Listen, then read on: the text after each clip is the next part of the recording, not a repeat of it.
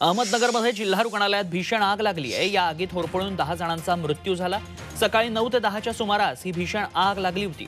ICU विभाग तसंच आजूबाजूला या आगीचे लोळ पसरले. यामध्ये दहा जणांचा मृत्यू झालाय. अनेक जण गंभीर स्वरूपात जखमी झालेत. महानगरपालिकेच्या अग्निशमन दलानं तात्काळ सिव्हिल हॉस्पिटल या ठिकाणी पोहोचून आग विझवण्याचा प्रयत्न केला.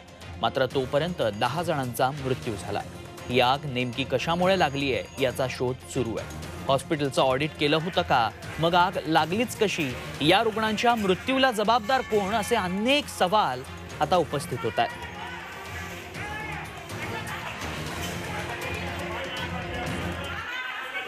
याच संदर्भात अधिक माहिती जाणून घेऊयात. आमचे प्रतिनिधी अरुण मेहत्रे सध्या आपल्या संपर्कात आहेत. अरुण सध्या काय परिस्थिती आहे?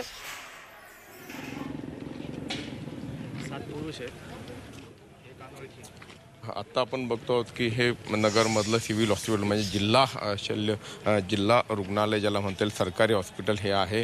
आणि याच इमारतीमध्ये मागच्या बाजूला आय सी यू आहे. तिथे ही दुर्घटना घडली तिथे ही आग लागली होती. खरं तर हे कोविड सेंटर आहे आणि कोविड सेंटरमध्ये कोविडच्या उपचारासाठी दाखल झालेले हे सगळे रुग्ण होते. या वॉल या याच्यामध्ये सतरा रुग्ण त्यांच्यावरती उपचार सुरू होते आणि आग लागली त्यावेळी अचानकपणे नेमकं काय घडतं ते देखील कदाचित त्यांच्या लक्षात आलं नसेल. आणि अशा परिस्थितीमध्ये त्या लोकांना शिफ्ट करण्याचा प्रयत्न केलं गेलं. मात्र दुर्दैवानं त्यांना तिथनं काही लोकांना करता आलं किंवा काहींना करता आलं नाही. पोरपवून आणि ज्याला म्हणता येईल आपण धुरामुळे त्या लोकांचा मृत्यू झाला. दहा लोकांचा मृत्यू या घटनेमध्ये झाल्याची माहिती आहे. आपल्यासोबत इथे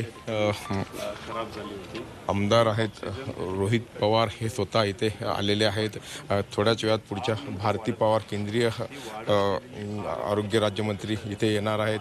याशिवाय इथले नगर जिल्ह्याचे पालकमंत्री ते देखील इथे येणार असल्याची माहिती आहे.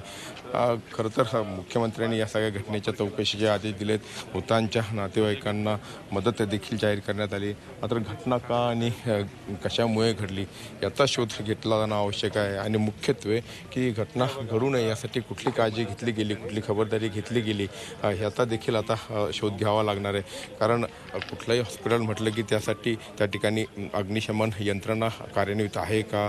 त्याशिवाय तिथे जे कर्मचारी आहेत ते कुशल आहेत का? या सगळ्या गोष्टीचा विचार करणं किंवा दुर्घटना घडली तर जीव कसा वाचवायचा लोकांचा याचा देखील तिथं पुरेशी तयारी होणं आवश्यक असतं. आणि त्या दृष्टिकोनातून या सगळ्या गोष्टीचा आपल्याला या ठिकाणी बघावं लागणार आहे. सरकारी हॉस्पिटल आत्ता आपल्यासोबत आमदार रोहित पवार आहेत. रोहित जे आत्ता आपण इथे आलात भेट दिली. आत्ता ताजी माहिती म्हणजे खरं तर जे रुग्ण जखमी आहेत गंभीर होते त्यांची काय स्थिती आहे? नाही जे काही सहा लोक त्या ठिकाणी शिफ्ट केली गेली. तसं बघितलं तर सगळे शिफ्ट करण्याचा प्रयत्न त्या ठिकाणी झाला. पण ऑक्सिजनवर हे सगळे पेशंट होते व्हेंटिलेटरवर होते. त्यांची लंग्सची परिस्थिती अतिशय हलाक्याची त्या ठिकाणी होती म्हणून त्यांना व्हेंटिलेटरवर ठेवलं होतं. आणि जेव्हा ऑक्सिजन त्या ठिकाणी या घटनेमुळे त्या ठिकाणी कट झाला असावा शहानिशा त्या ठिकाणी केली जाते. त्याच्यातमध्येच हे लोक त्या ठिकाणी काही त्यातली दगावली. अतिशय दुर्दैवी अशी घटना आहे. त्या कुटुंबावर काय आज डोंग दुःखाचा डोंगर कोसळला असेल याचा अंदाज आपण सुद्धा त्या ठिकाणी करू शकत नाही. पण इथं गेल्यानंतर जो काय अंदाज त्या ठिकाणी येतो खरा अंदाज इथे असणारे अधिकारी पी डब्ल्यू डी आणि हे सगळे विभागीय अधिकारी पालकमंत्री साहेबांना ते देतीलच आणि त्याच्यात आपल्या शहानिशा कळेलच. पण जो तिथं गेल्यानंतर जो अंदाज येतो तिथं असणारा जो व्हेंटिलेटर आहे जे इक्विपमेंट आहे त्याच्याचमध्ये पहिला स्पार्क नाही तर एखादी गोष्ट झाली असावी. आणि ऑक्सिजनचं प्रमाण त्या परिसरामध्ये जास्त असल्यामुळे ते आगीला एक म्हणजे चालना म्हणजे आग फार वेगाने त्या ठिकाणी वाढू शकली. आणि ऑक्सिजन कट ऑफ झाल्यामुळे तिथं जे सर्व रुग्ण त्या ठिकाणी दगावले.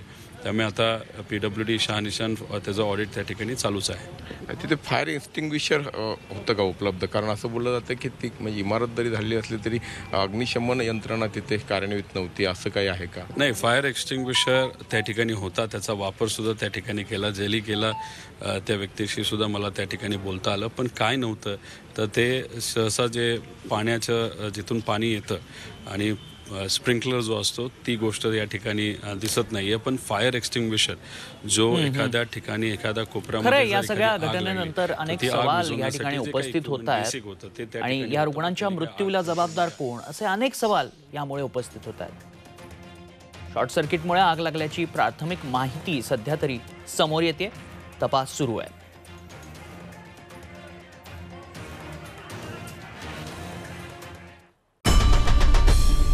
आई भवानीचा गजर. म्हणजे चोवीस